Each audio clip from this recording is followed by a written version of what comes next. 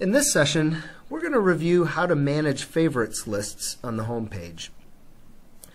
Regardless of what your role in the organization is, each home page typically has a favorites list. The favorites list may be a list of favorite GL accounts, or customers, or vendors, or items. In this case, we're looking at, a, uh, as the uh, accounting manager, a list of my favorite GL accounts. It's very simple to maintain this list.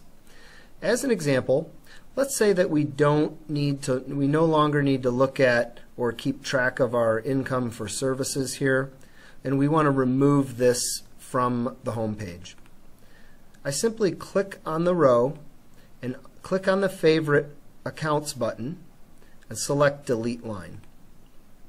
It will ask me to confirm that I'd like to delete the selected line or lines.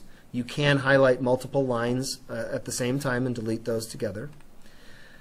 I've now deleted that um, GL account from my list.